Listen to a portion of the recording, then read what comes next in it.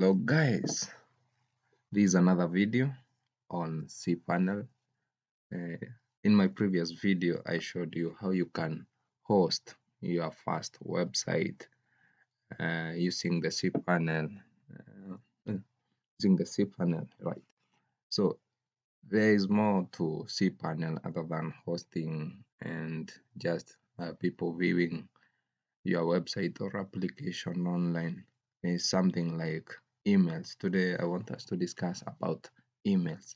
Let's say an example you've seen someone with an email with uh, some let's say your domain name is uh, let's say uh, trial at my my cpanel or my website dot com. This is what i mean by uh, uh, domain domain email. So this domain name how can you create uh, this email using your cpanel? This is what i'm going to show you today. So the first thing you need to log into your cpanel. I've already logged into my cpanel and this is my view the, my, the first interface that i i view when i log into the cpanel. So it has so many things going downwards but we'll discuss the rest of them later. For those who have not watched my first video i'll still leave a link in the description. So the first thing that you need to do to create an email you navigate to the email uh, uh, division the email section. Yours might be at the bottom or at the middle depending with um, your hosting company but uh, in my case it's uh, at the top of the page. So I'll just create email accounts sorry I have a very terrible internet connection. Don't know why. You'll forgive me for that. Keeps disconnecting every time. But it's not such an issue. Just disconnect and connect again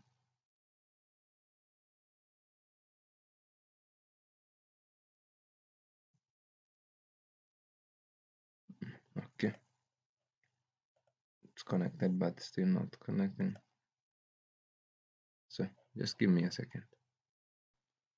So we are back. And let me refresh uh, this page. So you are going to email accounts.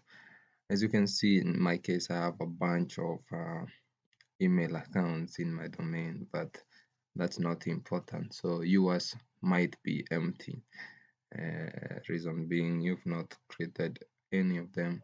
So the first thing that you need to do is uh, navigate to this button. This button icon called create. Click create. And then it request it will give you such a platform. Yours might look a bit different but the, the format is the same. So the first thing that you need to do here shows you your uh, domain name that maybe you want to name after your subdomain. You can select whether you want it after subdomain or, or something like that. Or your main domain sorry. So the next thing is the username. The username is the name that you want to give uh, your your email. Let's say you find some companies you have something like hr hr office or something like that.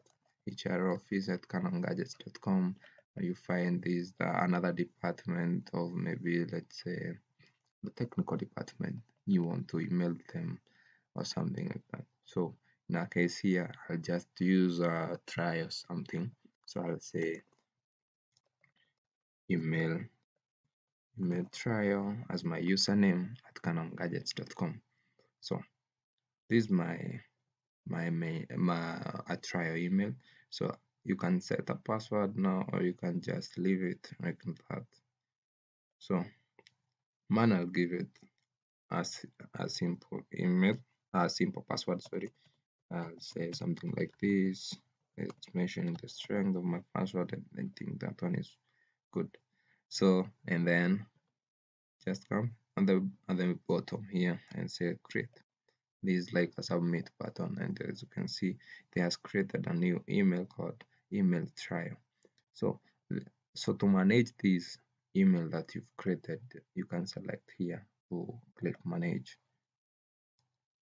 And maybe you can allocate a storage space. Initially it's always a 1 GB but you can allocate a space as big as you want like 9.7 GB some domains allow to an unlimited uh, uh, storage. So it's up to you. And then you can say you can have this receiving incoming email you can suspend or you can suspend sending out email or logging in. Anything that you want you can do in the manage icon i'll update then update. So the next thing that you need to know about email handling is how you can connect to your phone or to another to another device so that you can be viewing these emails you don't expect everyone is computer literate and they know how to log into the cpanel and you can't give the cpanel credentials to everyone. So for that case you can use something like outlook. If you use outlook let me show you an example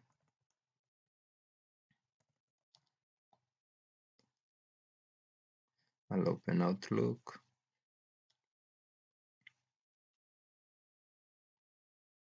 Mm, you can see I have so many mails on canongadgets.com but this is not exactly what I want to show you. What I want to show you is something like this.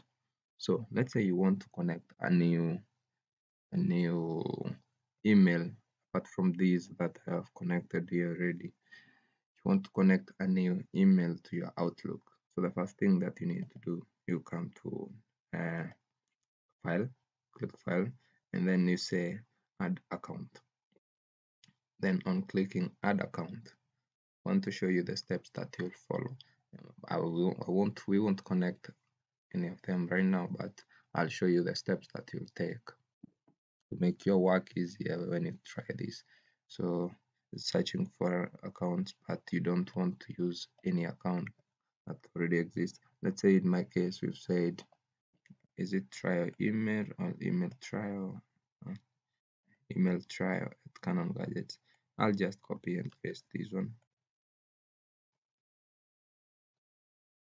Uh, i don't want to paste so i'll just type trial at canongadgets.com and then I'll say connect. And then you'll see receive this message. And then here is where the problem comes in. You can't use any of these office 365 outlook.com google or exchange. What you need to, to use is either imap or pop. So in our case you use imap. And then to get these details you go to back to your cpanel and then come here at the connect devices. Click connect devices on your email the one that you want to create. And then you'll have you'll have uh, this mail client manual settings. Here you'll get all these details that are requested here first thing is incoming email the port number the encryption method the outgoing mail mail server and port number. So the, all those details you get them here. So incoming server incoming server is canongadgets.com the port number is 993 if you are using pop 3 uh, instead of imap you can use 995 and for the outgoing server you can use canongadgets.com and the smtp port which is requested here.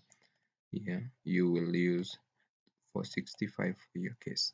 And then you can submit your other end it, it will be connected directly to your to your device. And that way you'll be able to receive all those mails. And let's try to connect our case so that it might not look such a terrible idea. So uh, we've seen our server is canongadgets.com and our port number is imap port 993 which is okay.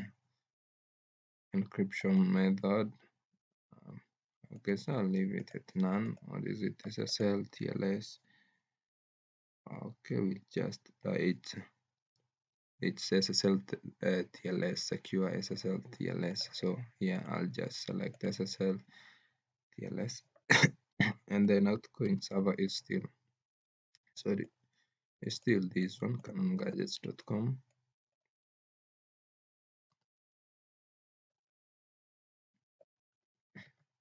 and the port here is 465 as I can see here I'll just use 465 encryption method is still the same.